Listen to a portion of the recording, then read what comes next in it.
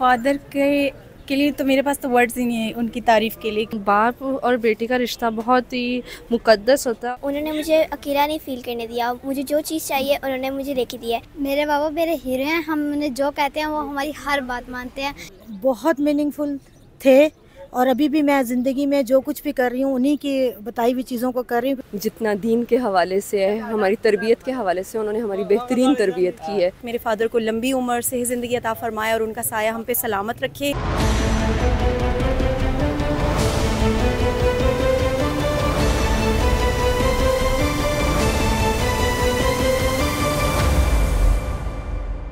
जैसे कि आज इंटरनेशनल फादर्स डे है और इस वक्त हम एक मार्केट में मौजूद हैं जहाँ पर हम कुछ खातन से बात करेंगे, ख़ास तौर पर खातन से और उनसे ये जानने की कोशिश करेंगे कि एक बेटी के लिए वालिद कितने ज़्यादा अहमियत रखते हैं। उसके अलावा हम उनसे ये भी जानेंगे कि वो इंटरनेशनल फादर्स डे पे अपने वालिद के लिए क्या पैगाम देंगी। तो आइए जानते हैं। फादर के के लिए तो मेरे पास तो वर्ड्स ही नहीं है उनकी तारीफ़ के लिए, क्योंकि मेरे ख्याल से आपको जो सबसे, आपको अगर इस सोसाइटी में रहने के लिए सिक्योरिटी है, वो सबसे बढ़ के अगर आपके फादर आपके साथ है तो आपको दुनिया की कोई तकलीफ़ फील भी नहीं होती, ठीक है?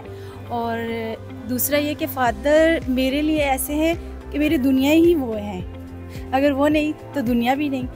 उसके अलावा तो मैं आपको कुछ डिटेल नहीं बता सकती फादर के लिए तो मेरे पास वर्ड्स नहीं उनकी तारीफ़ के लिए। हर बेटी के लिए हीरो ही होते हैं उसके लिए।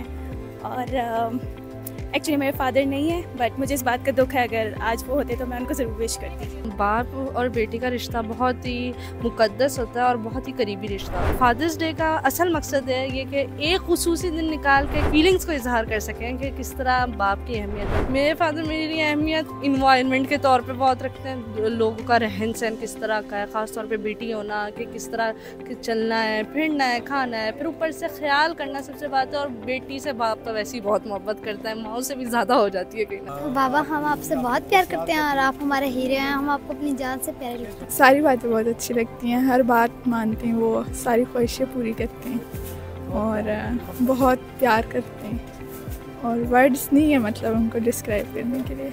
वैसे तो वो इधर नहीं होते लेकिन ऑफकोर्स दूर रह के भी वो उसी तरह प्यार देते हैं अप्रिशिएट करते हैं तो ज़ाहिर है वो मैं एक्सप्लेन नहीं कर सकती वो इमोशंस लेकिन ऑफ़ कोर्स वो मेरे लिए बहुत इम्पोर्टेंस रखते हैं। इतना दूर रह के भी तो ऑफ़ कोर्स मेरे लिए बहुत मीनिंगफुल है।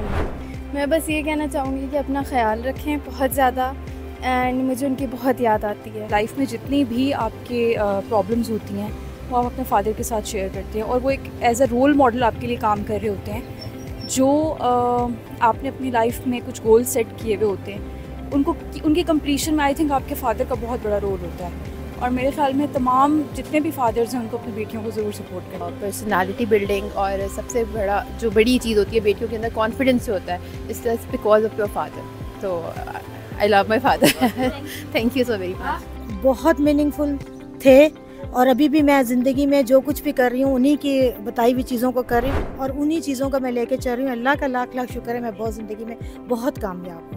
अल्लाह ताला ने उन्हें जन्नत में ही जगह दी है यकीनन जिनकी औलाद उनको रोज़ पढ़ के बख्शती हो। अल्लाह पाक मेरे फादर को लंबी उम्र से ही ज़िंदगी अता फरमाए और उनका साया हम पे सलामत रखे क्योंकि वालदेन जो हैं जब तक हमारे सर पे हैं तो हमें हम बेफिक्र हैं। मेरी यही दुआ है कि अल्लाह पाक मेरे वालिद समेत तमाम जितने लोगों के वालिद हयात हैं उनको सही ज़िंदगी अता फरमाए और सलामत रखे। मुझे मेरे फादर बहुत पसंद है और उन्होंने मेरे लिए बहुत कुछ किया है। उन्होंने मुझे जो उन्होंने मुझे अकेला नहीं फील करने दिया। मुझे जो चीज़ चाहिए उन्होंने मुझे लेके दिया I love my father thank you जितना दीन के हवाले से है, हमारी तरबियत के हवाले से उन्होंने हमारी बेहतरीन तरबियत की है।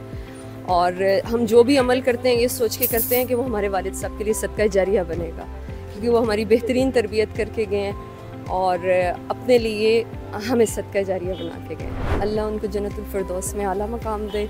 और उनकी आखिरत अच्छी करे और हमें इंशाल्लाह जन्नत में इकट्ठा मिलवाए फिर। फादर्स डे पर हमने कुछ बेटियों से बात की और उनसे ये जानने की कोशिश की कि उनकी ज़िंदगी में या उनकी अपब्रिंगिंग में उनके फादर का क्या रोल रहा है और साथ ही साथ उन्होंने बहुत खूबसूरत जुमलों से अपने वालिद से अपने प्यार का इजहार भी किया। और इस बात में भी कोई दो राय नहीं है कि बेटी और जो बाप का रिश्ता है, उसको कोई भी लफ्ज़ों में एक्सप्रेस नहीं कर सकता। तो मिलेंगे किसी और एपिसोड के साथ, तब तक के लिए अल्लाह हाफिज़। you